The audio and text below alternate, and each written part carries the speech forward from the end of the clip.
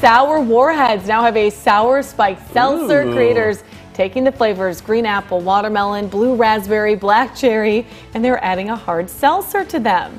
So people have had this already. They say the drink is not overwhelmingly sweet, but it does match the candy flavor. So there's a little sourness that comes with it, a Okay. mellow sweetness. Do Maybe you you remember like these? a sour beer. Maybe you'll like these. yeah, A they are not sold in. Illinois just yet, but Okay. you know, maybe next year or something. I'd be down. Did you have these when you were a kid?